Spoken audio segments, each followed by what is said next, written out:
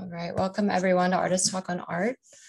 Uh, thanks for joining us tonight. We have a program that's part of our legacy series. So before introducing that, uh, we'd like to invite you to next week's program, which is a panel called Mir Miracle Mud. And that will be moderated by artist and curator Geraldine Hanrana. Hanrahan, I think I said that right, who is an active board member here at ATOA. So next Monday, May 23rd will be Miracle Mud and Geraldine will be introducing us to several awarded ceramic artists living in Santa Fe, New Mexico. So for tonight's legacy program, we'll be screening a recording from the Artist Talk on Art archive that originally took place on December 4th, 1998. And this features a trilogue between three well-known artists, Michael Goldberg, his wife at the time, Lynn Umlauf and Linda Benglis. So I'll just give you a brief bio for each of these artists featured in tonight's Legacy series. Michael Goldberg was an American abstract expressionist painter and teacher known for his gestural act, action paintings, abstractions, and still life paintings. A veteran of World War II, Goldberg was one of the last few remaining survivors of the New York School he was sometimes referred to as a member of the so-called second generation of abstract expressionists, although he began exhibiting his action paintings in important group shows in galleries in New York City in the early 1950s. Goldberg began taking classes at the Art Students League of New York at age 14. And in the 50s, he studied painting with Hans Hofmann and discussed painting with artists like Willem, Willem de Kooning, Lee Krasner, Jackson Pollock, Franz Kline, Mark Rothko and several others of the New York School sometimes um, at the, eight, the 8th Street Club, which was a regular meeting place of modern artists working in and around 10th Street in New York. Lim, sorry, Lynn Umlauf was born into a family of artists in Austin, Texas, and moved to New York in 1967. Her sister, her twin sister, Madeline, introduced Lynn to the painter Michael Goldberg in 1969, and they married 10 years later. Early in her career, Lynn was exhibiting in Italy and had her first New York show with the Hal Bromm Gallery and her first museum inclusion at the 1975 Whitney Biennial.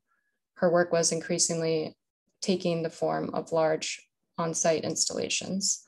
She also prowls the Italian countryside, making uh, improvisational drawings that are closely connected to sculptures. Um, as ArtSpace describes, her method consists of using sanded and impregnated paper with pastel, watercolor or acrylic mediums, often glued on free-shaped canvases, which lends a handmade quality close to fresco.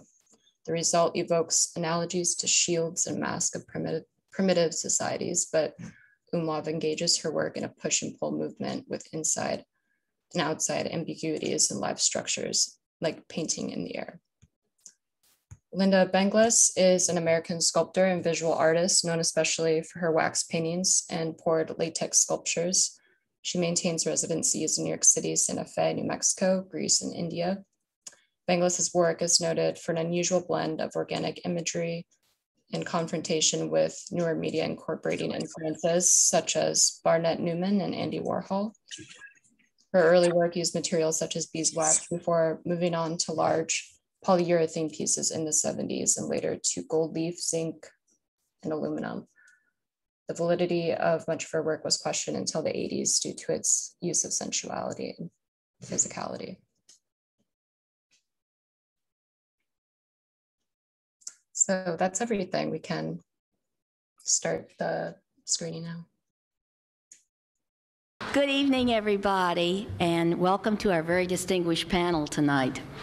Uh, I have to tell you, get, make just a few announcements. Our program meeting is going to be, uh, our program committee meeting is going to be Thursday, December 10th at my loft across the street, 579 Broadway, 4A, and everybody should bring six slides. I thought it'd be nice if we looked at one another's work, as well as having a business meeting and a little bit of a party for Christmas.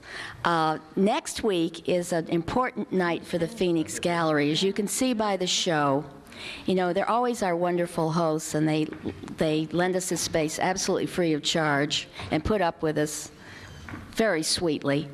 And uh, next week is, is a panel celebrating their 40th anniversary as the oldest co-op. And, it, and other galleries will be represented, and the title of the panel is What Makes, what makes a Co-op Successful? So hope to see you. And then we break for our holiday. Um, now, without further ado, I'm not going to introduce our panelists because they're just going to talk about themselves and introduce themselves. But I don't know who is going to start. Lynn. Okay, you can. Are you showing slides first, or? No. Or, oh, we'll just talk. L- Let me just say that Yeah. this is about Mike and Lenny and not me. And uh, I'm, I'm uh, going to introduce Lynn Umlauf, whom I've known for 30 years. And I think Mike Goldberg, I've known for 32. So I think they've known each other for 30. And you need no introduction. No, I'm sorry, my name's Linda. And uh, Lynn Lynn is going to show her slides first, and then Mike Goldberg is going to show his slides, and they each have 11 slides. And I've asked them to show something, some little history that uh, takes place over these uh, 30 years. So Lenny. But I don't want to show slides uh, yet. I want, I want to do is fill you in on some of my, my own history, um, which Donna said she was going to do, but then I'd have to tell her, and it's easier to tell you. Um, first of all, my father was a sculptor, Charles Umlauf, and my mother was a painter. They met at the Art Institute in Chicago. And um, there's one person here who actually knows my father's work and, uh, and my mother. And so I'm, I need to, to give them all of their due uh, applaud. Um, but anyway, my father was saying to me as I was growing up, I, I'm, I'm, I'm glad you're able to help me in the studio, you know, cut the clay, sand the wood, um, help with the plaster cast, and um, wax things afterwards. Well, he had a whole crew of us. There were uh, three older children and three younger children. The eldest three, my older brother Carl and my sis- twin sister Madeline and I, are all artists. And um, the youngest three are slowly getting there. Arthur's already started, and Louis, Louis is actually uh, helping take care of my father's estate, and so he's, he's a little bit slowed down by all of that work. And Tom is um, building car and motorcycle bodies and designing the dies for um, um, 3M company. But I think he's actually going to become an artist too. Um, Makes great hot rods. he makes great hot rods, as Michael said. Um, the, the other thing that my father, he said, don't be an artist, and so that left me with, well, what? what? I, in a sense, I, I got to college and I didn't know that there was anything else to be. so I started out at the University of Texas and uh, finished my bachelor's degree there. And um, and also, uh, oh, then I went to New York and lived here for a year and uh, went back, got my master's. No, wait. I say, I, I, I think I, I spent a little bit of time in between because I went to Italy for another year um, on a loan, a student loan, and then went back and got my master's. Sounds sort of wrong. 65 was the bachelor's degree, and the master's degree was in 68. So uh, I, I finished the bachelor's after going to New York, and then the master's after going to Italy, which I lived in Florence for a year, 65 to 66, the year before the flood. And actually helped my father put on a show there in Florence um, of his sculpture in this it was the Galleria Santa Croce right next to the, in the Piazza Santa Croce. And that was a real pleasure because by that time I was speaking Italian very well better than he ever did. And so I felt I could help him with the, not just the communication, but some of the uh, negotiations that happened with the gallery dealer. For instance, they didn't understand how he could have a, a room full of sculptures of nudes in, in such close vicinity, in, in the same room with uh, sculptures of uh, religious popes and um, Jesus Christ and Mary. And he, it's, it's still a little bit odd, but I've got used to seeing all these sculptures together, and I, I helped, you know, make that transition for him when it came to the Italians. At least I tried to help. Um, so my father was a sculptor. My mother, with all of the six children, became a. She designed the grounds for the, the, all of the sculpture. And when we grew up, she then had more time to go to this Episcopalian church and designed the, uh, the building and the grounds of that church with some help. But she was very involved with not just being our mother and a writer, a poet, but also doing everything that she could, um, not competing with my father, but actually being um, um, a, a, moral and a physical support. Um, after I finished my master's degree, I went. I stopped dealing with the figure, and I started painting from nature but the nature I was painting was painting myself in nature. So I was always involved with the, the in a sense, a pre- the, my present interaction with it. Somehow you feel, or I feel when I, when I look at the painting, um, my own, I feel where I am in that landscape. And it's not necessary, as you all know, in an abstract to recognize a figure. You, you simply understand what I'm talking about now when I show you some of the slides. Um, then the, the, the reason that I'm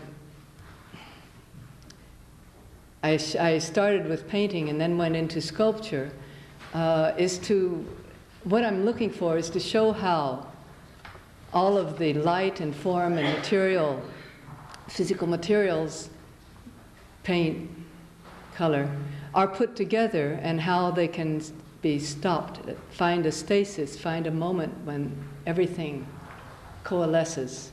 And then there's that possibility that it can all disperse. That kind of breathing in and out that happens normally with us and with nature, I try to get in my, in my work. Can we have the lights on the first slide?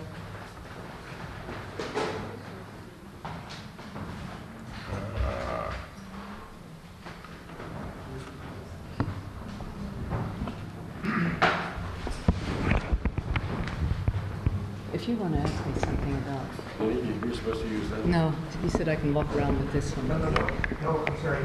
Cat? Oh, too bad. The spotlight is only on the standing mic, so. Uh,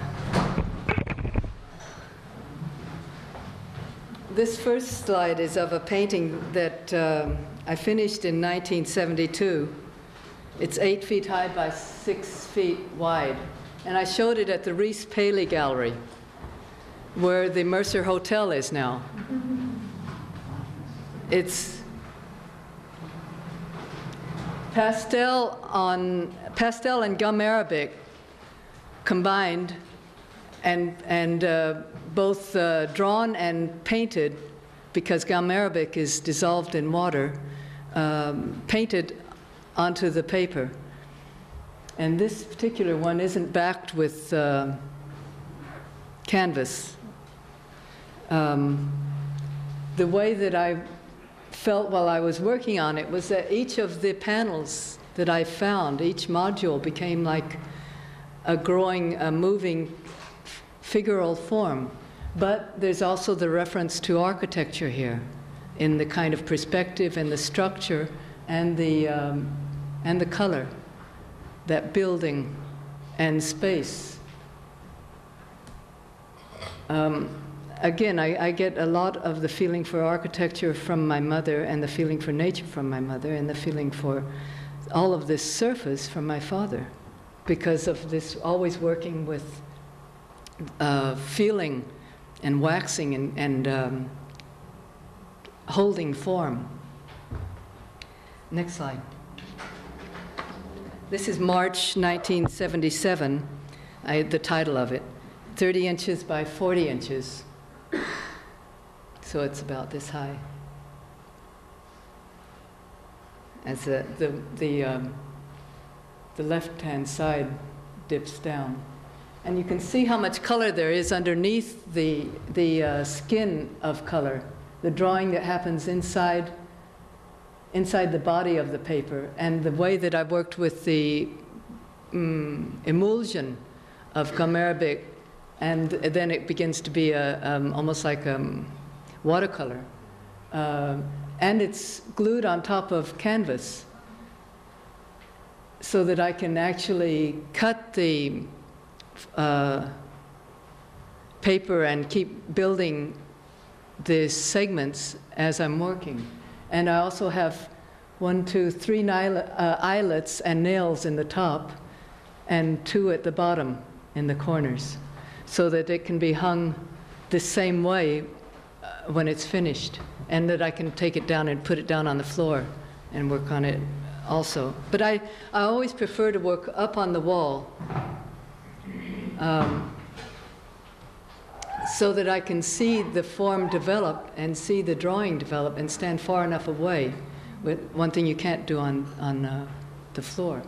And as I said, the, the, the forms feel both like a torso and like parts of a landscape in the color reference. The next slide. This one, that actually was bought by an Italian collector when I started showing in um, 74 in Italy. Um, this one is March 1977. Um, it's a small piece for a large wall size piece. And Linda and Mike and I were all in a show in Paterson, New Jersey, um, with her sculpture, my painting, and Michael's painting. Um, I believe there were, was it just three or were there some others? So there were others. Lucio Pozzi was in the show. Um, this is the small model for the large piece that I showed at that time. This one was done in June 11th, 1979. It's 56 inches long by 16 and a half inches high, and it's in uh, Steve Weber's collection in Boston. It, it works in such a, a three-dimensional way for me, I, the way that the space between the forms and colors, and this area is just canvas, and it's nailed here and here, so there's a, a torque in the forms. I think there's uh, simply one nail here, and here, and here, and here. Canvas, as you know, and paper, they respond to heat and cold, so that the, they also breathe while they're hanging. And um, the kind of glue that I'm using helps that. It was I was using jade and, of course, the gum arabic. It seems to really get very tense in dry weather and very floppy in wet. In wet, and so you get always a change of the light within the piece and the light shadows. Um,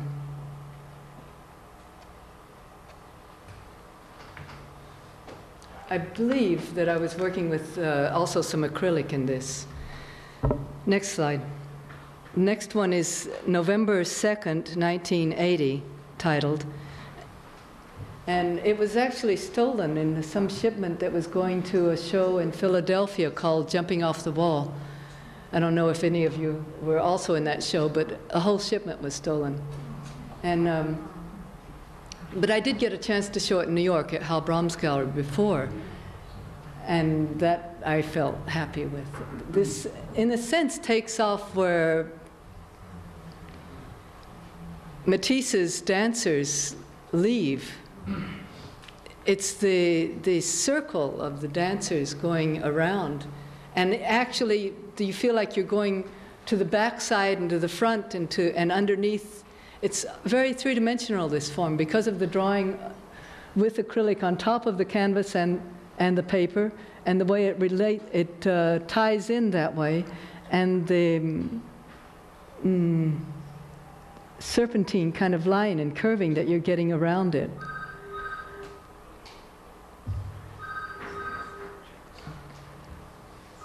Next. This next one is called July 20th, 1987. What I found with paper was that I could get the, con, the concave form, and I could get the con, I could get the flat form and a little bit of convex when it dried. But I always wanted to, then what if I wanted to stop it, that curving, and not have it always breathing in the air off the wall and making shadows? What if I wanted to, to walk around the piece and see the movement as I move? And, and actually have the painting uh, not be wet to dry and wet to dry and continually in this um, flux that was going on, but have the paint where I put it, with the curves where I put them. And I even kind of sewed with wires and fiberglass and uh, acrylic glue. This is not fiberglass and resin, it's acrylic.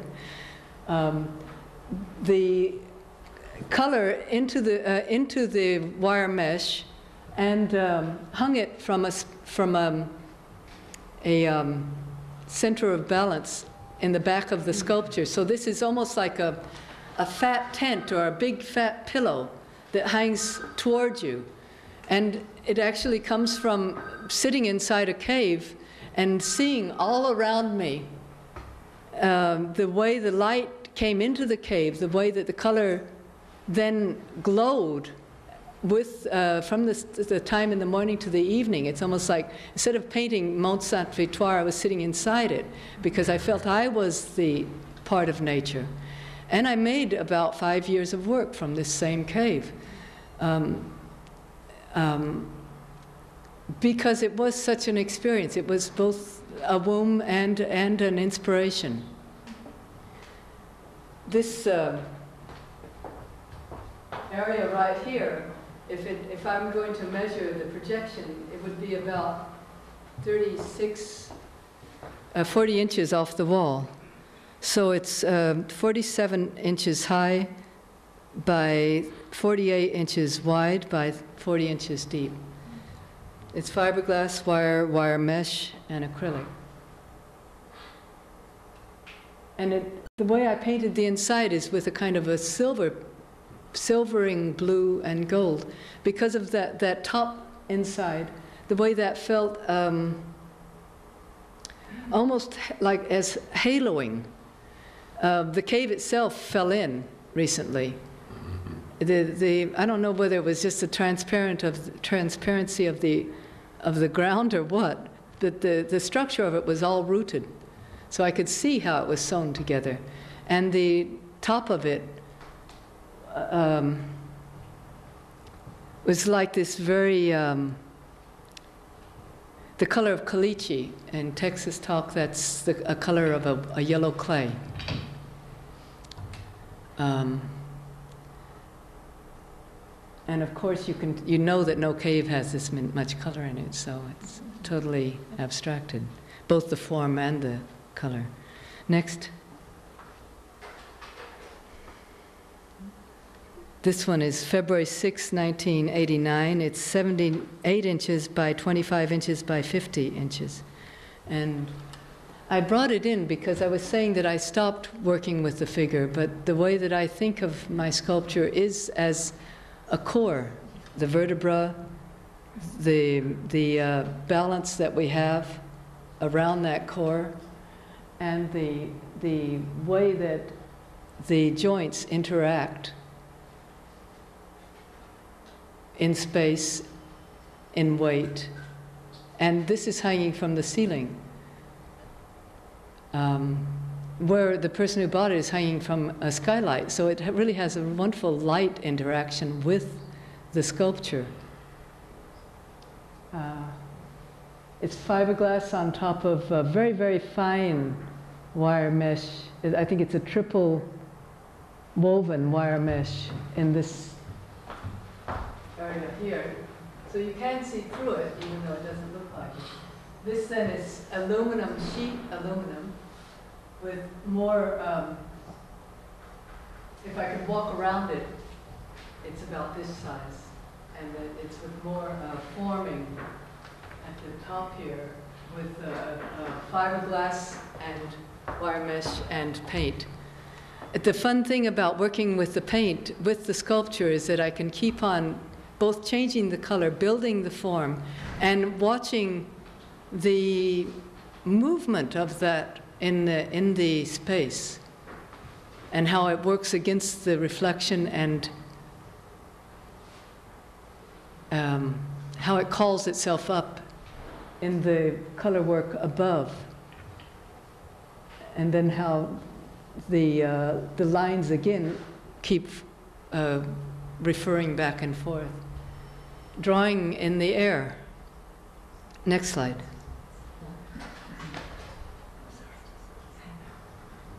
I, I, I name my pieces by the date because that's when I finish them. Sometimes they take a, a month, sometimes three or four months.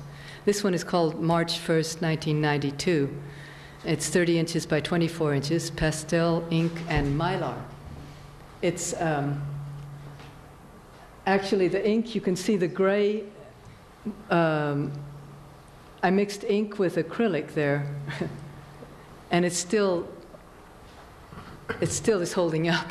so is the mylar, because uh, the person who owns it in Houston, I've seen since since '92, and um, then you can see pastel on it, and uh, it's a back and forth uh, uh use of, of both the pastel, the acrylic, the gel medium, and um, some metallic pigment that I ground that I grind up with the acrylic.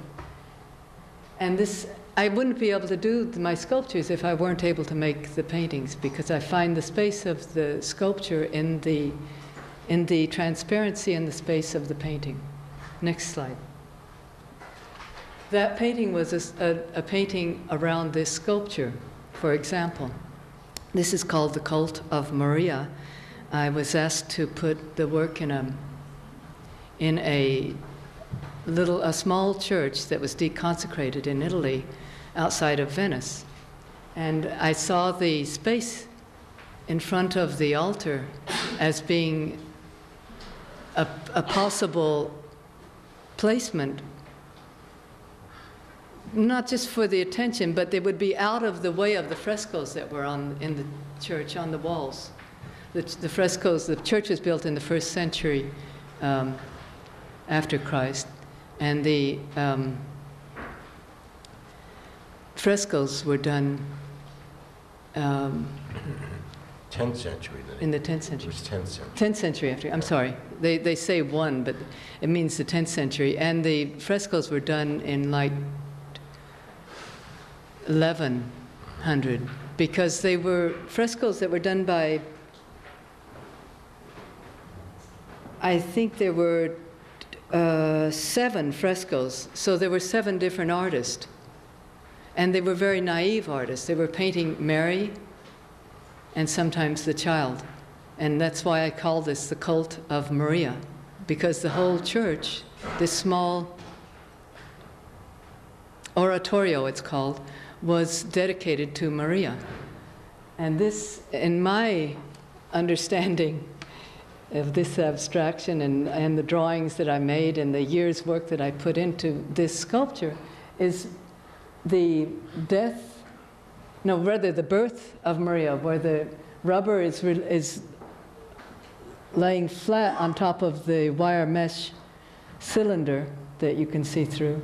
That kind of birth and movement, the spiral, the growth, and then the ascension of Maria hanging from the ceiling this is actually a photograph taken in my studio. I didn't want to distract with all of the frescoes right now because uh, of the limited time. Um, the, the hanging piece is 100 by 37 by 42 inches, And the standing piece is 27 by 36 high by 43 inches wide. It's a very heavy rubber that you you can cut by hand. What year is that one? The date is 1992. It took a full year. Next. This is called June 10th, 1996. Um, it's acrylic paper stretched on canvas and stretcher, and it's again a painting that leads to a sculpture. But uh, they may lead to them, but I consider them I, I, fin- I consider them finished in themselves.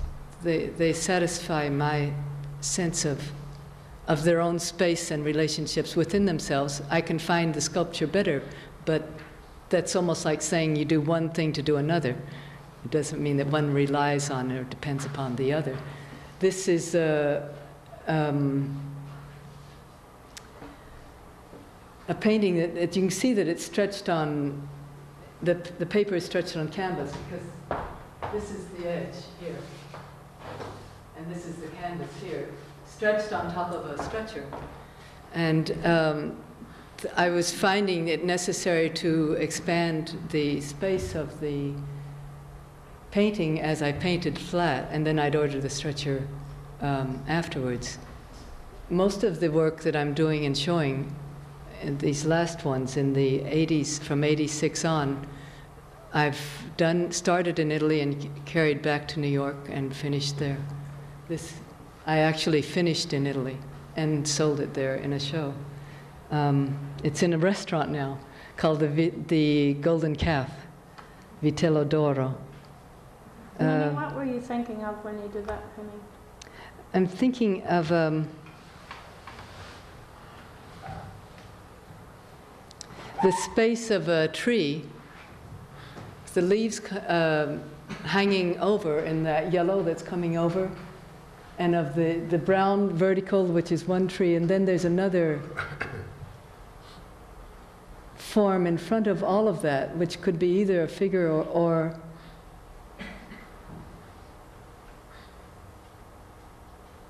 or again another tree. That's what I'm thinking. I'm thinking of nature, thinking of uh, the smoothness of fig trees, the way that their, their limbs are when you feel them, that silver. And then the, the uh, way that the green, yellow is of the, the flowing form of banana leaves. And the base in the red that weighted form is somehow at the cut off segment of, of a tree that I found and brought into the painting, so that many parts come into it, although they weren't there in, to begin with. And uh, what I actually was thinking of was the sunlight through the, the color of the green and the green yellow, and the shadow that makes a color. Uh, as the light goes through leaves, and the way that the, um, the earth then allows things to grow back up. So it's a very circular kind of action that I'm thinking and, and painting that I think that life is circular. It either hangs in the balance, an, a, a nucleus of molecules, or it stands or flows like a waterfall. I, I think that I continually make that circular reference in my work. And also, um, I find that this painting goes back from the paint, the sculpture that you just saw to the one next one. Next slide. The core, the core of the tree that was chopped off. This is taken from that. That this is a plane in this, right here. And you can see down into the heart of the sculpture, which is made of colored fluorescent, um, phosphorescent yellow plexiglass and uh, fluorescent long, um, I should say, neon light that I sheathed in blue plexiglass. And um, there, there's a kind of plexiglass that they use in Italy that is for greenhouses and um, uh, uh, showcase displays that is actually corrugated, so it doesn't let all the light through, but it really transforms the colors around it. That pinkish red is casting onto the light. I see now. The light is, is, is reflecting off the pinkish red and turning both of those lights uh, fuchsia. Both of those colors fuchsia. And so as you walk around this sculpture, there's an interaction of the colors. They kind of osmose into each other, keep coming around and around this way. Next slide. This is the last slide. October 10th, 1998. Can you, barely see can you see this? It's, um, this part is a vinyl globe right here. This is a fluorescent light held by a sheath of stainless steel wire mesh. This is a plane of aluminum um, that holds the, the globe up. Um, It holds it at the top, it holds it at the bottom, it goes underneath here, you can see it right there. And then, of course, the light cord, this is a welded aluminum and fiberglass aluminum to, that you can see through the globe, because you stand it right here. And it, it feels like Saturn, but it also feels like a nest, it feels like an air bubble. So it has this wonderful sense of its own space and identity. I, what I was doing when I made the, uh, the leg support was to thicken the line so that it really grows into the, the Saturn's ring and supports as well as um, throws it off balance. So it seems to move, and it gets you moving around it. You see through it and see around it because there's reflections in the vinyl.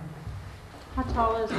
It's um, 34 inches high by 44 inches wide by, no, 44 inches long from the one end of the wire mesh to the other, and then 29 inch um, circumference of the 29 inch uh, circumference of the globe, the vinyl globe. Where, where is it shown? I, I, I just brought it back from Italy now. And the plastic, Oh, it's in my studio. I photographed it in the studio in Italy. and the plexiglass. The, the one before that was, um, that was in my studio again in Italy. But I put paper underneath it. But I finished it here in, in New York. They don't seem portable, but I bubble wrap them and I put them back together again like a chiropractor. It has to be here. Screw it, bolt it, um, uh, cotter pin it, and um, sew it, and and then it's, it's surprisingly movable once I get it together. It's like a, like a body. Do you have another question before Michael goes? Well, we can, we can talk more about them.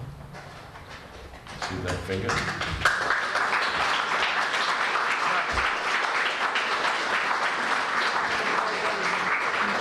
Where are the lights? Yeah. You know, the interesting thing for me about being on this panel, or the idea of the panel, is how two artists live together for as long as Lily and I have lived together and maintain our sanity and continue to work? And also what rubs off on what and how, you know? And I think that should be of interest to anybody who's involved with making art. Uh, so we'll get to that. Uh, we both thought that, uh, and we sure didn't have much discussion about what we were going to do, uh, but we, we both thought that uh, in introducing ourselves this way, by showing work that we've done, et cetera, et cetera, you might get a clearer idea uh, of who we are. Now, if I come across as being arrogant, it's because I am arrogant. I, I've been making art for a hell of a long time, and uh, I still find it pretty much the only thing that's of uh, excitement that I still do. Uh, I've done other things. I uh, was a soldier, I was a race car driver, I was a pilot, all of which I was pretty good at. And I no longer do those things, but I still make painting. And I'd like to read a little statement.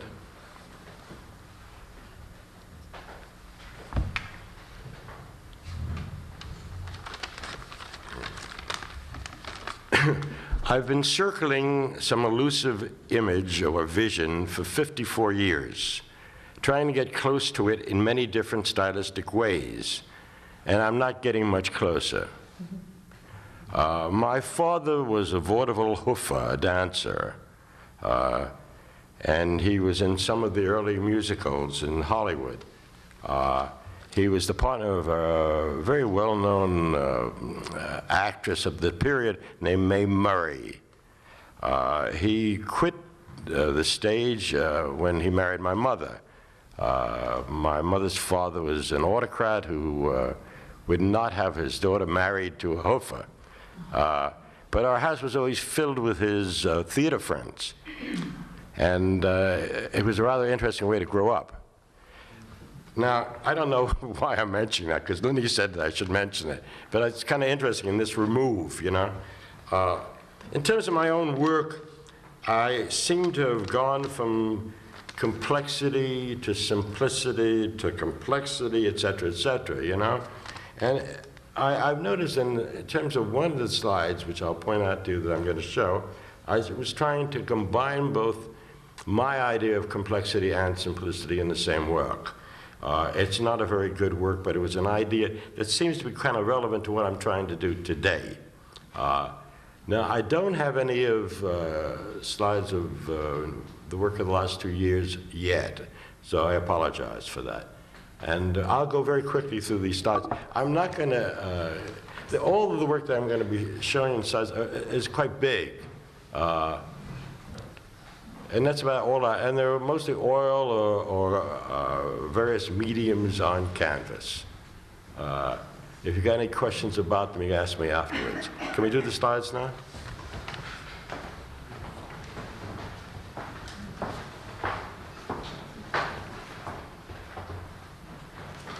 Oh, I'll indicate dates more or less, you know?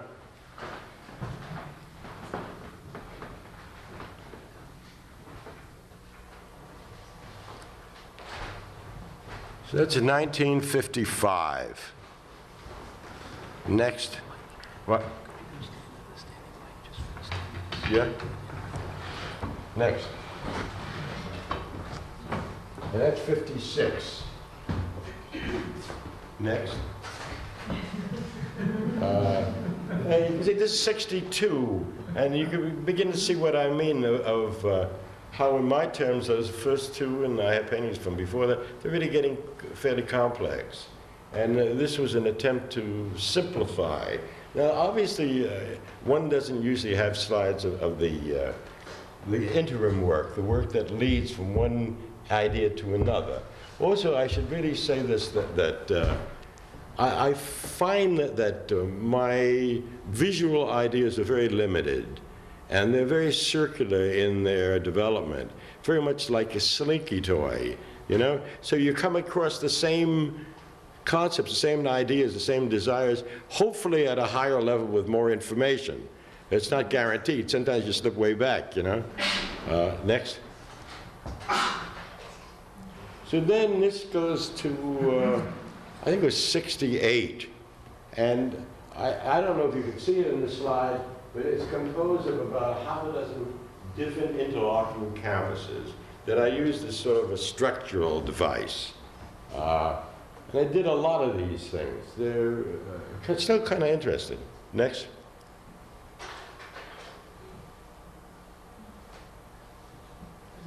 Michael, Yeah. doesn't this have the structure underneath it too? No, this was on a single canvas. Also, there's a funny story about how to do that. You get an idea of the scale, there's a hand here, you know? So it's a big mother. But uh, what was interesting about this is, is that I was using bronze powders and uh, a clear alkyd to draw into the bronze powders and also to fix it. Well, what, to do a painting of this kind of scale, you have to, do it, you have to work flat. So I I did a reverse Michelangelo. I, I constructed sort of a low bridge over the painting, and I worked on my knees, you know? But it was really a drag. But, but anyway, next. So this is, uh, I think, 72, and this is the painting I wanted, to, I was trying to explain. I mean, it's not a very good painting. It's very reminiscent of Frank Stella, as a matter of fact. But- Hardly, Huh? hardly. Well, but it, it, to me, but uh, it, it was using that same kind of attitude of the blue one before, but complicating it within its own context. You were looking at a lot of tantric things then. Exactly. You remember that, yeah. In fact, remember the big one? They want to buy that now. It's unbelievable. Uh, next, please. Now, this is, uh, I think it was 82.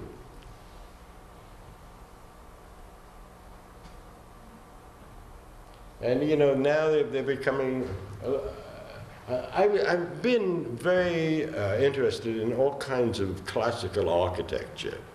Uh, and uh, with the idea that uh, in uh, classical Italian architecture, the units of measurement had to do with the human body. Uh, the arm, the leg. There's always what they call a misura di ventura, when uh, they use one unit of measurement for the facade, uh, another unit, of measurement for the height, and when they didn't meet, they, that's misura di ventura is measure of chance. They just filled it in. And that interested me in relation to these paintings I was doing. Next. So again, this is about 84, I guess. Very landscapey in a way. Huh? And again, a lot more complicated, a lot more hand in it than the other one. Next. Now this is, what, uh, 95, I guess. And then there's obviously a relationship to writing.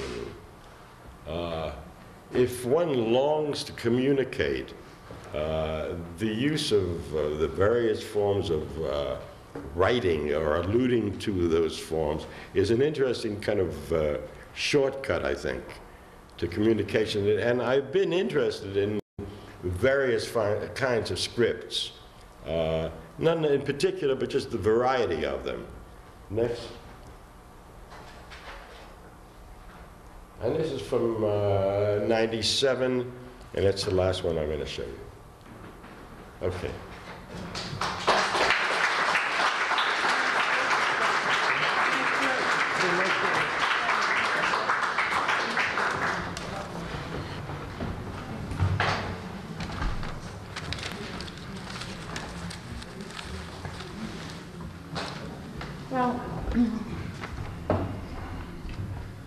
We've seen the uh, wonderful works of both Lynn and Mike, and it's, it's very interesting that uh, they're both such uh, strong and original artists, really original. And looking back over them, I mean, the earlier works, I think they're equally as strong. I mean, it's, it's uh, because we have such a contextual reference, and it leads in, it's consistent with what each of you have uh, set out in a way to explore. Now, do you always know what you're exploring? No, no, that's why it takes me so long to make this, the uh, painting and sculpture. I keep going back and forth in this, from the flat plane to the round, three-dimensional, to the um, hanging, standing or flat down. It's just, no. I have a, a nucleus, an idea. It's like that dream we have that I know the feel of it and I know the, the sense of it, but I don't know what it looks like. There's, there's something, I can get some of the joints together that I, I have a feeling about, but that doesn't tell me what the work will look like. So it's a total surprise when I find that I've finished and that, and I recognize something about the piece. But I'm mostly finding out. What's interesting to me, Lenny describes her building and her emotive response in uh, structuring. Michael, do you feel as you- though you're as emotive in this way? No, I, I work uh, very differently. And, uh, I mean, what I, I, I do tomorrow is predicated on what I'm doing today. Uh, I don't know if it's a logical sequence or a logical development. Uh, I tend to do lots of work on paper, uh, but almost as warming up exercises, not in the sense that it refers to what I'm going to be doing as sketches or something like that. Uh, I, uh, very different than Lynn because Lynn is a night person. I'm a, a morning person. Uh, I get up early and I'm raring to go. I mean, I have a cup of coffee and I'm off. We know you drink a lot. How can you do that? Well, I get to bed early. I, I do like to drink, uh, uh, and I do like to drink very good wine. And I'm able to indulge my taste in good wine, but unfortunately, I drink too much of it. But I, I'm not a, a very good drunk, uh, and I uh, go to sleep rather early. I mean, I, I, you know, You sleep well. I sleep very well, and I wake up and I, I usually don't have a hangover. So, He, he wakes up and starts working at eight. I get up and I start working around 11. four is closer to it. Yeah. But I'm going at it.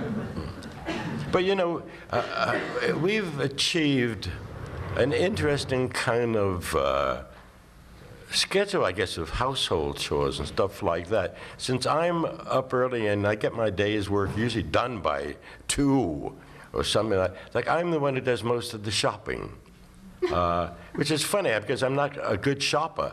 Uh, uh, I mean, I really am serious. I mean, I, I, we both like to eat well, and Lynn is a really very good cook, and I'm an adequate cook. I can follow a recipe well. But uh, I, I certainly does, don't market and, and uh, with any understanding of what, what to say, a good piece of beef, you know, or what's a good vegetable. But Lynn, on the other hand, can go to markets in the small Italian hill towns, and old ladies will come up to her and say, uh, Signora, is that a good melon? That kind of thing. Uh, but I tend to do most of the shopping, you know.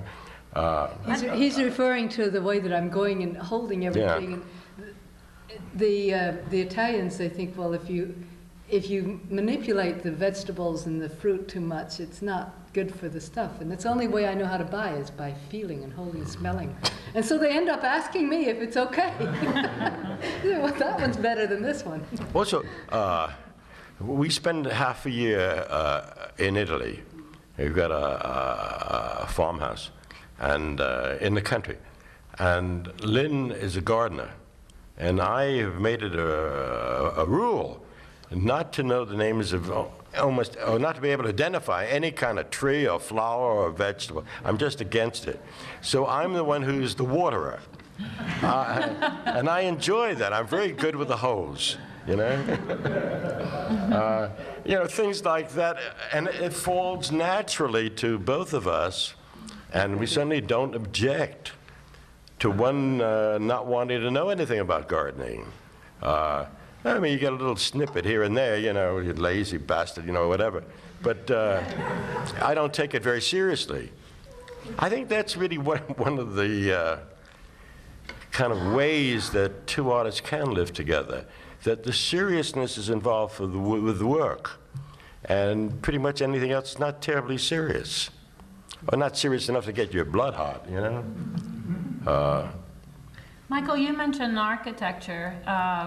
Uh, you mentioned handwriting.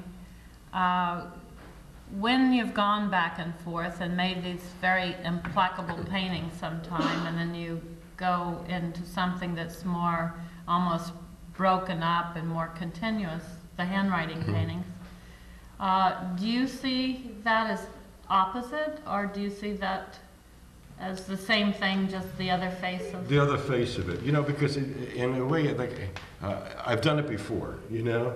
So that's what I was trying to say about that slinky toy metaphor, that uh, either you come up against the same concerns with more information. Uh, I should say this too. I'm really very uh, uh, both uh, knowledgeable and influenced by classical art. Uh, and I seem to change what classical artists uh, I keep looking at every year, but the attitudes interest me enormously. Uh, I'm not uh, great for copying uh, classical artists, but you know, you lift a little bit here, lift a little bit there, uh, you make it your own. I should also say that nobody's on any of our backs saying, hey, kid, make that work. I mean, nobody gives a shit, you know that. And so I think if you don't have any kind of uh, enduring passion within yourself for that work that you're going to be doing, why do it? And I find that, that uh, commitment uh, very prevalent in the past. I think that the religious conviction is an interesting phenomenon that we no longer share in. But I think you can get an idea of how painting uh, was uh, an extension, I suppose, of that kind of conviction. I don't know how many of you have recently seen uh, the Rothko and the Pollock show. But if you did, I, I should say that I was struck with how impossible it was for me to deny the validity of any of that work, both Rothko and Pollock. I didn't have to like them. But there was a, a, a, a I was going to say quality, but that's a difficult word. Uh, but there was something that one couldn't deny. You couldn't turn your back on that work. And I found that really very wonderful uh, in, in the sense that so much of, of today's work one can turn one's back on. Uh, Would, would you say that uh, these abstract ideas, say, of that particular generation were more simplistic in a way? Maybe, maybe more direct, certainly. More direct? More direct. Well, no, you know, I happen to know most of those people quite well, and uh, there, there was a deep conviction that what they were doing was vitally important. That conviction doesn't exist. You have to be crazy to have that conviction today. You know, that art could change the world. Geez, that you'd kind of whisper, you know. Also, there was a quality, once they uh, really were into a mode, they repeated themselves, or they repeated the ideas, not themselves. Uh-huh. You're talking about Rothko principally, aren't you? Rothko Yeah. and, and Pollock in his drip areas. I mean, he died before he could get out of the classical drip areas. Yeah, but I was struck in that Pollock show with how those uh, paintings they did just before he did the drips, where he was using paint squeezed right out of the tube. Certainly anticipated the drip paintings. They're the same kind of paintings, in effect, using a different technique. In fact, you know, it's interesting. The only person who successfully kind of uh, got Pollock's message at that early time was Helen Frankenthaler. Uh, everybody else who really kind of, uh, you know, leaned on Pollock made little Pollocks. And they were lousy. I mean, uh, and that's, I guess, what I mean by the, the uh, oh, I guess the inevitability of uh, Pollock's paintings, in, in the sense that uh, I knew people who uh, thought Pollock was the greatest thing since Wings very early on, and felt that the process was the important criteria for the quality of the work, and proceeded to use that same process and made miniature Pollocks. But one could tell the difference. I'm, it's amazing. Uh, using exactly the same method, same paints, everything like that, they made little Pollocks that you could tell were not by Pollock. That's because of the drawing. I don't know what it was because of. It was because the lack of uh, passion, I suppose, because they were copying somebody's process, you know. Uh, But isn't that drawing? I don't know, Lenny. I never really f- kind of puzzled it out. Why. I What- it is. Lenny, what The- would you the say? show- Excuse me, the, the show that uh, Joan Washburn has up right now of uh, Pollock drawing and painting compared oh, out of the Guernica, out of Picasso's um, Guernica is so beautiful. It's so extraordinary what you see in terms of the drawing that's going on. It follows up what he's saying. You, you, you'll never see that kind of drawing. It, it wasn't simplistic.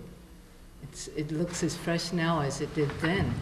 I'm speaking of a classical phase, and I'm speaking of if you think of art as a kind of uh, continuum of ideas, uh, is there such a thing as taking from this classical phase of Rothko or Pollock and going on from there?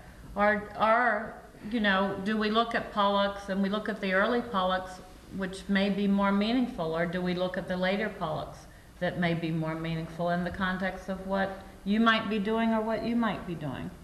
You know, it's I a tough question to answer. I know what you mean, but, uh, you know, Or what, you know, anyone in this audience may be thinking. Well, Uh, well, I I mean, yeah. isn't it fairly open? Yeah, I think so. I think, you know, art comes out of art, my God. I mean, it's circular, uh, and it always has been. Uh, I was just thinking that, that uh, I mean, I remember at, the, uh, say, in the early 50s, uh, that, that uh, one of the reasons so many of the younger painters, like myself, uh, were so divided in, in what they were looking at and what they were reacting to in terms of what they were looking at, that it was much easier to, uh, say, ap- appreciate and, and really get into de Kooning because he was more accessible. I mean, it was a direct kind of extension of, uh, say, European, Western European art, whereas Pollock was doing something uh, that had uh, very few, if any, antecedents. So one could lift from de Kooning very successfully, but you couldn't lift from Pollock. That's what I was trying to say before about these people who made a little Pollocks. You see? I, I use Pollock in my thinking about looking at the way he, he digs into the space of a canvas. I feel that that's what I'm doing when I'm making a, a line move in a sculpture. I, I use it in my way of thinking that uh, not, as you know, you can't copy painting and sculpture, but just the kind of aerial projection that he makes in his paintings is totally inspiring. Well, Lenny, I think you've talked a lot about uh, the material and your involvement with material and the surfaces and the illusion as well. And Michael, you've talked also about material and your interest in material and paint. What about the idea of metaphor and subject? You've mentioned somewhat some of this, and I think, um, you know, is this an issue at any point I, in your yeah, painting? I prefer to st- stay clear of the idea of metaphor because it's, it's too reminiscent, to me anyway, of uh, narrative. Uh, and I, I would think, I'm still a big reader, uh, and uh, I like reading. I, I uh, use it almost. Can't see how anybody after Titian would even want to use the figure. You have to be crazy, or after Velasquez, you have to be crazy. Lenny, do you Uh, ever have arguments about this?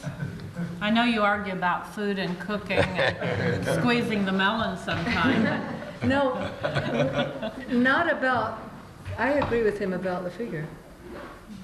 I, I, I don't think it's possible to, to Do you think you're a rebelling figure- from your father's involvement with the figure? No, I think I'm maybe rebelling against all academic uh, uh, solutions, Okay, not that's my good. father. What No, I- about, I what love my about, father's work.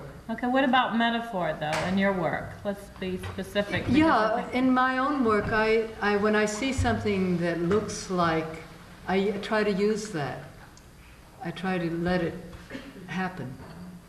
And I, also, there's that restraint that I, I feel it, maybe it's my respect for nature that I learned from my mother, that you, if you copy nature, you really, uh, it's almost like the gods don't like it. You can't do that. It, it doesn't work. You can't try to paint a tree and have it look like a tree. We all know how to do that because we went through school. What I wanted to do is to have the spirit and the soul of it. So, the metaphor of it. Well, no, my, my feeling about metaphor is that metaphor is something that stands for something else. Uh, isn't that what you mean? Yeah. Symbolic. A- And uh, I would like, uh, at least the paintings that I do, to just stand for themselves. What about names? I mean, you do name some paintings and you don't name other paintings. Is it because you think that these paintings are metaphorical or more or less metaphorical? No, no, the- the reason I name it something. Or sculptures? It, it- the name sticks to the painting or the sculpture. Well, what does that mean in terms of, your- is that a suggestion to the viewer? Is that a hint? No, not at all. no. What is it? No, I think everybody has their own take from the, from the work, and it, it can, the name that I give it, it's just something that it grew into. It isn't supposed to help you. Yeah. Uh, I think the only help is, is, uh, is the way that we were saying, that you find out what the work is with time, with looking. So the names aren't hints? No, with, uh, I, I have at least uh, the most fun with names because I, I'm very arbitrary with names. Uh, if I do the paintings in Italy, I give them Italian names that I lift from the titles of classical paintings. Uh, if I do it in the United States, our building was once called the Boys Institute. So I've done a lot of paintings called the Boys Institute 1, the Boys Institute 2, et cetera, et cetera, you know? Uh, but that's kind of boring. I had a book called Bowery Days, and then I had another book called, uh, it was about San Francisco, uh, Barbary Coast. And they had great names in the index. So I used the index for a number of years. That red painting from 62 was called Dear Woe. Now, who the hell was Dear Woe? But it was in the index. A, another one was uh, Club Women's Vigilante Committee. Now, that's a great name, and I used it. Uh, Lenny, I want to come back to you and the names. Uh, uh, You know, uh, don't you, uh, I mean, I think Michael may be less, um, well, I can't say less involved because the names are really, I mean, Funny. you really search for them. Yeah. And I know you really search for your names as well, but there's, uh, in the context of, say, Italy and the fact that you are, are, have made works within the, a church, for instance, and you might name these pieces, having exhibited them in the same area. Uh, did you feel called upon for any reason to have that? I mean, was it a kind of religious experience in a sense? I mean, this is a very naive question. I mean, you didn't name it, just the date. I, So I just, I mean, uh, you know, I want to know a little bit more well, about. that, in that specific, I, I named it the cult of the, of Maria, the, the cult of Maria. What? Because I felt that that's what the whole area, the whole experience was for me and everybody that walked into that little building. It was just amazing. It and you could say that that has something to do with the religious experience, but I'm not a churchgoer, so I wouldn't fix it right there. Well, let, let me go on. Uh, and you mentioned something about configuration and the skeletal aspect uh, of your work. Are you uh, involved with the organic, uh, almost proprioceptive feeling of your own bodily feeling, or would you describe it as a, a feminist feeling in any way?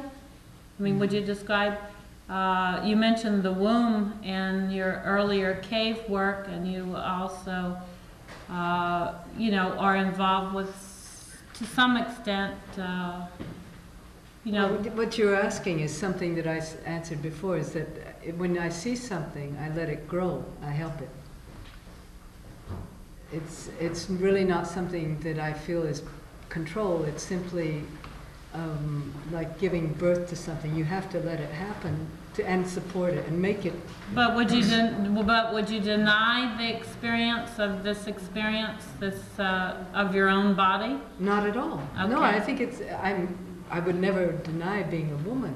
I think it helps the work. The, the, the, the female, s- this sense that I'm giving is, uh, it helps the work become a, an entity. okay, Michael, what, to what extent do you think your work implies that you're male? You know, I, I, I don't think about that. Uh, I, I just, ne- it never entered my mind. Okay, Uh, okay. I, I still don't think about it. I, I wanted to, to amplify something that Lynn did not say. This church was in a, a small, kind of bustling city outside, in the Veneto, outside of Venice. It's, it's really very small. It's about as big as this room. Uh, it's a perfect example of what they call Romano, Romanesque art, in a miniature scale. And it, it uh, has a little kind of parkland around it, but it's been restored, obviously, and it's breathtakingly beautiful. And these frescoes that she mentioned, there's seven in all. Uh, it's really an early example of artistic criticism because a lot of them overlap others, not entirely, but in part. So one is sort of painted on one part of another, you know? And they're all about the same size. They're approximately, say, four feet high by about three and a half feet wide. And most of them, sorry, were uh, Maria and the child. And they are very crude. And uh, the, the interior at the very end is this uh, niche that had this bare marble altar that must have been, again, about four feet high, about four feet long, and about two feet wide. But it had no covering on it because the place was deconsecrated. And it was a forbidding piece of stone at the end, you know? And How And, nice that you were able to make yeah, something there. a- and uh, Yeah. What town is this? the town is called Spinea. You know, it's about 15 kilometers outside of Venice. Uh, Linnea, it occurs to me in saying these things, one thing that, uh, th- that I've understood about uh, women, I get back to this, and sort of maybe even, maybe associating your work with nuances, that women are able to concentrate on many different things at once and get information all at the same time from many sources. When I look at your work, sometimes I think it's coming from all directions. Mm-hmm. You know, it has a sort of feeling of light or smell or, mm-hmm. so I, I have the experience when I look at your work that you're thinking as a woman may think. Because I think men think more directly and more concentratedly on things. So I just want to bring this up, that this is hmm. maybe a possibility difference. of I- the yeah, difference. I don't know if, if that's the difference between men and women, and I don't want to get into that. But in terms of the difference between Lynn and myself, she is much more circular in her thinking, and I'm, or at least I try to be more direct. Uh, I, I would say that's true. yeah.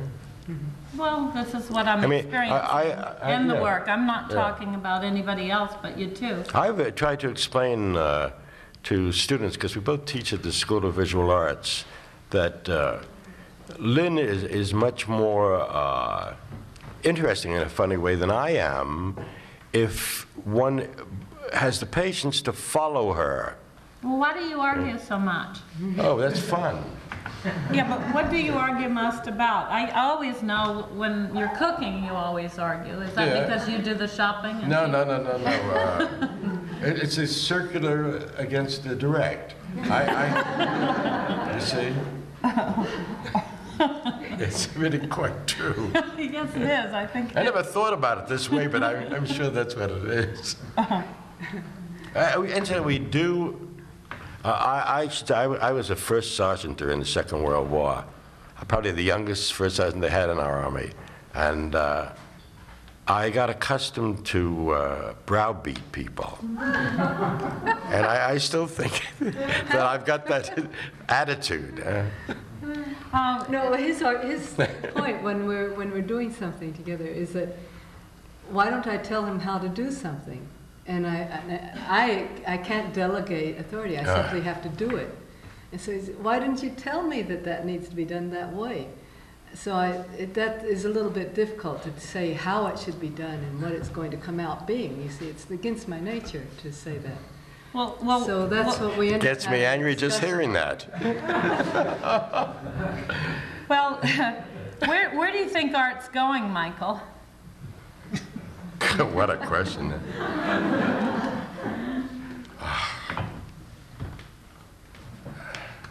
I, I don't think I'm prepared to answer that. Yeah.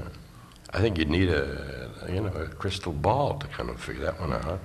Uh, Lenny, do you have any feelings about, if not where art's going, what do you want to continue to do? You know, art today seems to be so market-driven that, you know, the art at least that you hear about, that uh, it makes it rather difficult to kind of answer a question like that, since I'm not uh, terribly interested in that. Uh, Realistically, uh, I'm not ignorant of it. It's just uh, not something that I'm, I'm quite interested in. Uh, I, I, I find that there's lots of art around if one takes the opportunity to look. Uh, and there seems to, you know, people were hollering about the death of abstraction. Shit, I mean, it- that's so ridiculous. Uh, there's been good abstraction, bad abstraction. I remember uh, in, well, this is really a case in point. In the uh, 50s, there was uh, a a great deal of process-driven abstract painting being done. And there was more rotten art being done than you could possibly imagine. I mean, it was just ridiculous. Well, you know, uh, and that was a time when- when uh, there were very few venues for showing one's work. I mean, today, what are there, about six, 700 galleries in New York alone, huh? Uh, I'm talking about a time when there were only four or five galleries in New York that showed contemporary American work, you know? Uh, what a difference, huh? And uh, so you can spend days going around to lots of galleries, you know? I mean, looking at uh,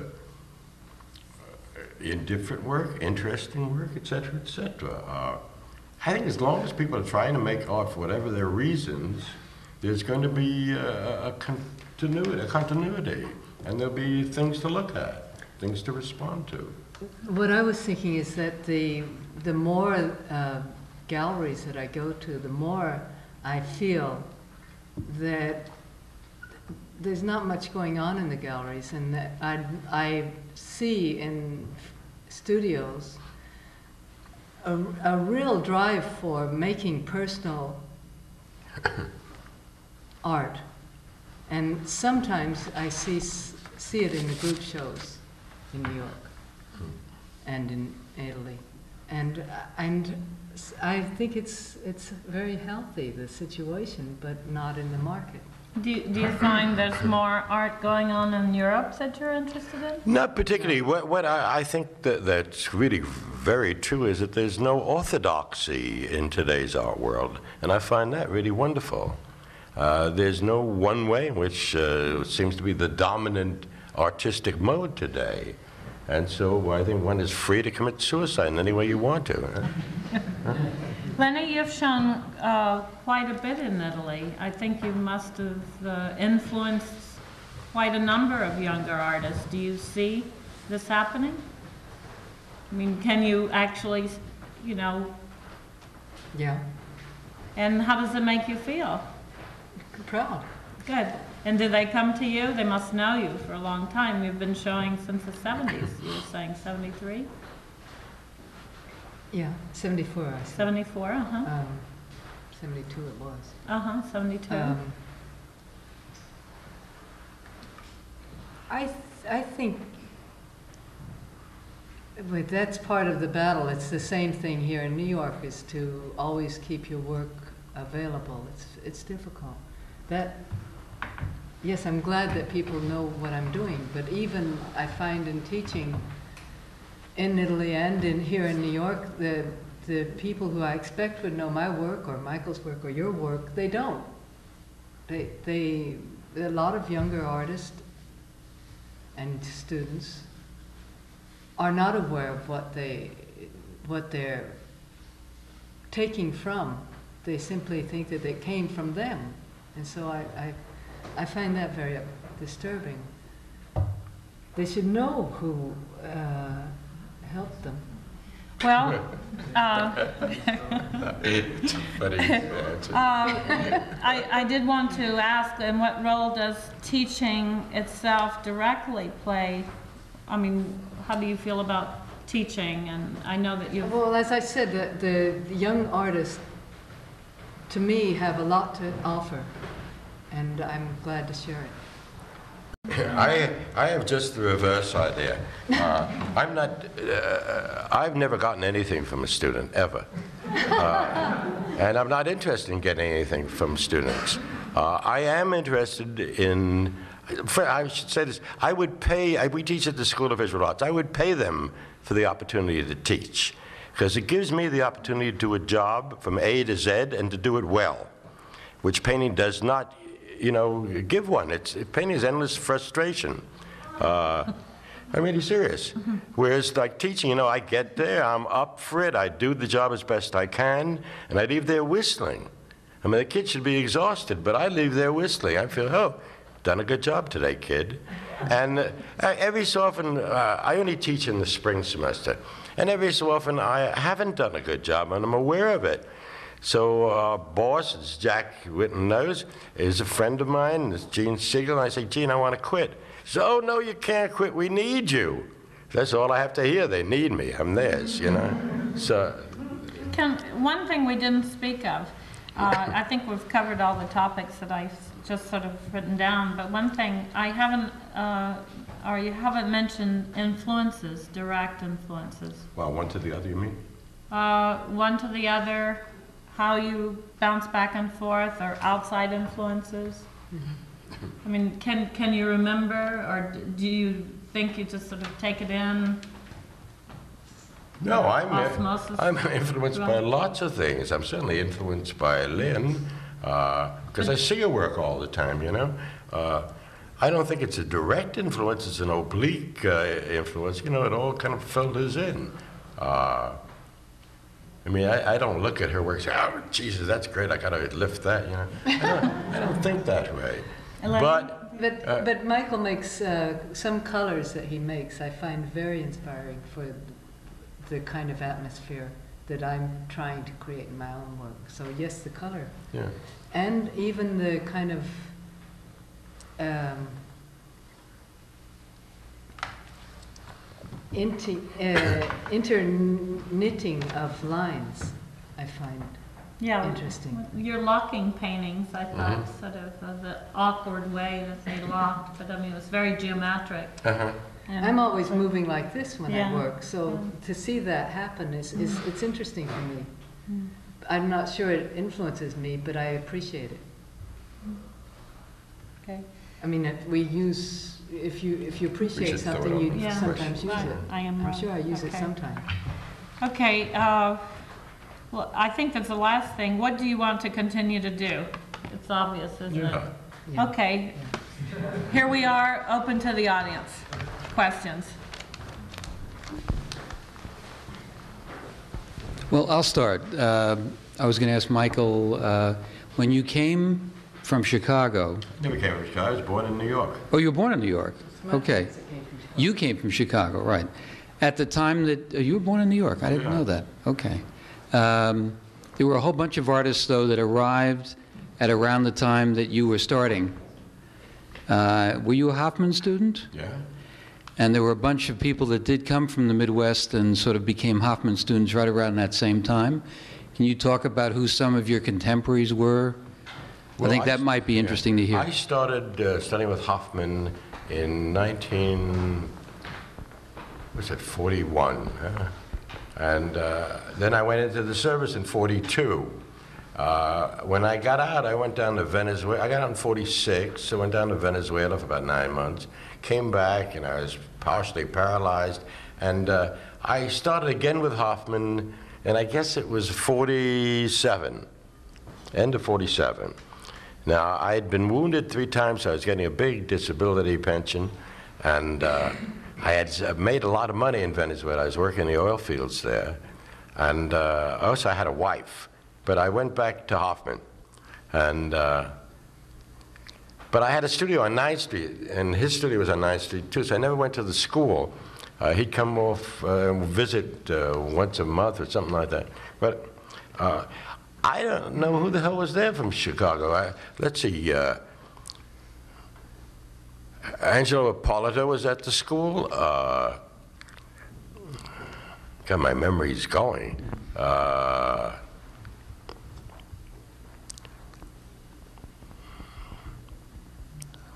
Miles Forst was at the school. Uh, Wolf Kahn would drop in from time to time. I don't know anybody from Chicago, though, who was there. Uh, probably were, you know. Uh, I don't remember them. Uh, ah, you got me. Uh, what was interesting about the school is that uh, most of the uh, men there uh, were veterans. And the general feeling was that you're trying to make up for lost time. I mean, I was in the service for four years, I was, and I was a young kid, you know. So, and also, like everybody used to drop in. so uh, there, there was a community going on at the school. Uh, that that uh, Felix Pasilis was there. I don't know if you all knew his work. I thought he was a wonderful painter uh, who seems to have disappeared. Uh, It's uh, abstract. no, he was figurative. Gandy Brodie was around. Anyway, I'm s- I can't be more specific. You also spent time in Provincetown? No. No. No. Okay. I never went to the school there. Uh, I spent uh, one summer in Provincetown, but not at the school. anybody have any other questions? It's a, I should say this. you know, Hofmann was really the world's worst teacher. uh, you couldn't understand what the hell he was saying. He had a thick German accent, and he had all this shorthand that he'd say. He'd say "nicka, nicka," which he meant "nicht wahr," you know, "nicka." Uh, it's like Puerto Rican saying uh, "mira, mira." Uh, um, but he was inspirational in the sense of this deep love and passion for art, and that rubbed off. What about that whole push and pull thing? Oh, who listened? You didn't know what he was talking about. I'm really serious. I'm not kidding. so it's an exciting place to be. is what I'm trying. Other questions or comments? Yep. All right, Di. Hi, Michael, this is for you. Uh, I heard your comment about drawing a tree since Titian is a waste. I, I want to know how you feel about the trees of Van Gogh and Cezanne. That was Lynn. No, no, you, got- did. I didn't say anything about a tree. He said that drawing the figure was was. Figuratively. Figuratively? I, no, I said figuration, I think. Figuration, okay. What do you think of the uh, figuration of, um, say, Van Gogh or Cezanne? What do I think? I like Van Gogh's painting a lot. Uh, I, I don't look at it for the sensible subject matter, though. You know, uh, Dr. Gachet or the wheat fields, all that crap. I look at the way in which it's, uh, you know, I look at the intensity, I suppose, et cetera, et cetera. Uh, is that an answer? Excuse me? No, I, I just would like to know how you feel about the painters Van Gogh and Cezanne. Just your I impression, like your feeling. very much. Okay. I think Michael uh, relates more to Van Gogh and Lenny to Cezanne, myself. No, um, Yeah. No, you know, I, I should have been perhaps more specific. I think that in, in the light of so much extraordinary uh, classical figuration, uh, why one uses the figure for uh, narrative kind of uh, material is, I find, very uninteresting, that's all. Uh, but I'm talking about really right now. I'm not talking about 100 years ago, you know. I think that Cezanne could get away with it, and I think that even Bonnard could get it. Did you see the Bonnard show? Yes. There was, you know, I saw it this summer. I came back from Italy for three days for something, and uh, I saw that Bonnard show and I felt I was in a Viennese pastry shop eating too goddamn much. I mean, it just made me filled up. Unfortunately, because I thought there were some extraordinary paintings there, you know. Uh, but it wasn't the figuration that uh, got to me. It was all of that rich paint, you know, that great color they get, all that stuff, you know. So I may look at paintings differently than you. I probably do. So, Mike, what qualities uh, would you say uh, constitute a good painting? I wouldn't get into that. I don't, I don't know. That's a variable, Bill. Oh, come on, Michael, It's a try. variable. Hey, No, I really mean that. No, no, no, it's a variable. That changes. For yourself and your paintings, but what qualities, when you're painting, over the course of days or months, or if a painting goes into the next year, what quality or qualities are you trying to bring forth to that so that you know that it has been resolved? Well, I think that's just a gut feeling, Bill. Uh, I can say this, that I had two paintings. Uh, I work on stretch, and I got movable painting walls. I got a big studio. And I had two paintings that I did uh, last spring that were up on these walls. Well, we got home end of October, and I kept looking at these things. One I finally ripped off the wall. Not ripped, I took it off the wall and cut it up. I got another one that that's going to happen to, too. Now, I believed in those things when I left them. You see, you see what I mean? I mean, I really, I thought, hey, those were terrific paintings. And uh, I can't pin down why I changed my mind about them, you know? But I certainly did change my mind about them. These are big paintings. I invested a lot of time in them. yeah? I concluded that they were lousy. What time sequence was that? Well, I did them, what, over a three, four month period last spring. And then you're just now looking at them? Well, they were, Again? we, yeah, I looked at them, I couldn't avoid see. looking at them, they were up on the And- walls. And you actually cut them up? I cut one already, yeah, in four parts. I showed you, it's in the, uh, that box there. that You we didn't got. want to paint over it? I couldn't, no, it's rather thickly done. Uh, Michael, this is a question for you. In uh, view of the fact that you are a teacher, uh, what criteria do you give to your students? How do you coach them? And Lynn, too, if you wish to answer from your point of view. I try my damnedest to get these kids to leave school. I, I really uh, am, uh, uh, I see my job primarily is convincing these kids that art making is ridiculous, it doesn't lead to a happy life, and get the fuck out of school quickly. So I'm fairly subversive, you know? But it is the truth. Uh, my, my answer to that question is, is that inst- um, uh, the subject I teach is fourth year to the students right before they graduate, and so it's sort of um, it's such a tense moment for them that I feel like if I put a pin there, they're going to fall apart. But it is is the moment when you need, when you, when they need to have uh,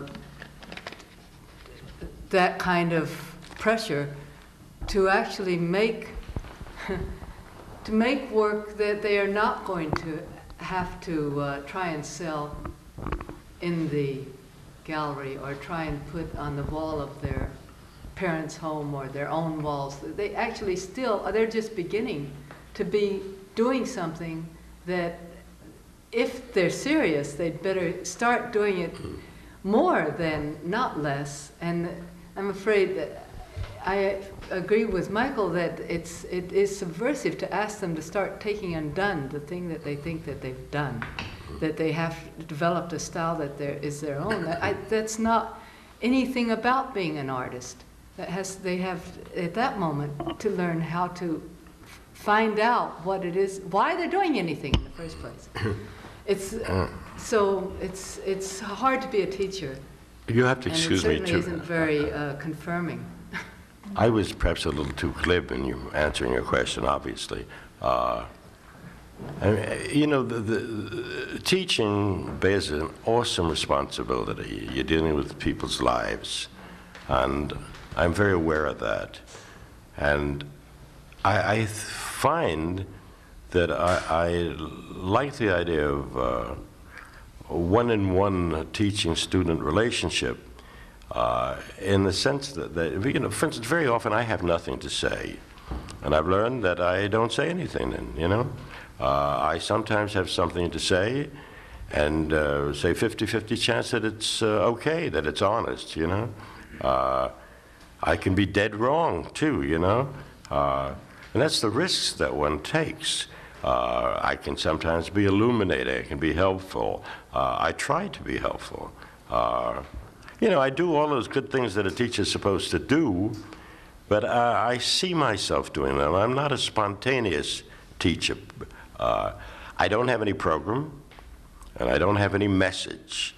And if I did have the message, I certainly wouldn't tell anybody, you know? So, I mean, that's about the- only way I can answer it. I'm conscientious. I do look for uh, things that uh, I can help be helpful about or helpful with, you know? I have a message. yeah. that no long, it doesn't really matter how long uh, and how well you think you've got the, um, the image, the form, the thing out into the subject, it's never enough.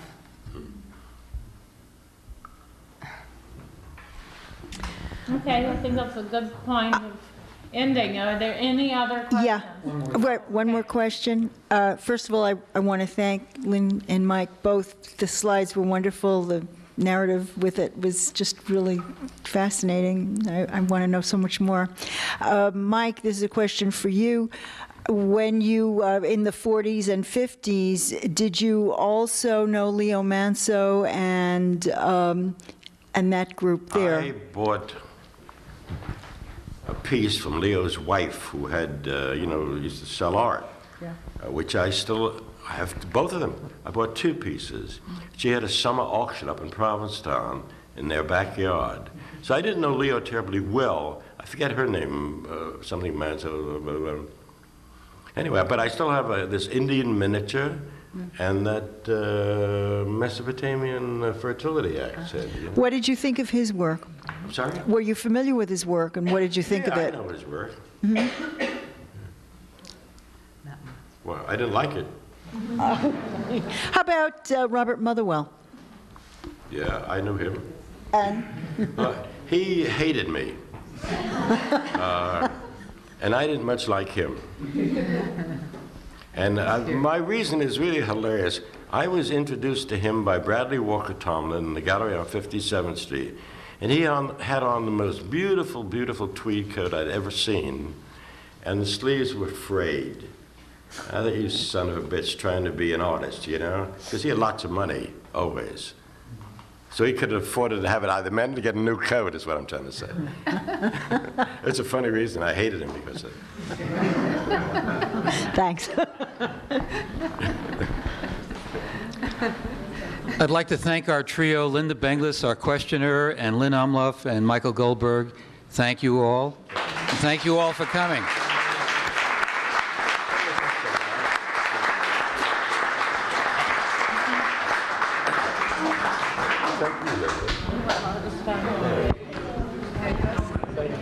You, you, you, you, the questions, you, you all just answered them as we went along, um, naturally, so it's good, all the ones that I had here, you did it naturally. Well, yeah. You did. I, Good, good talk, Lenny.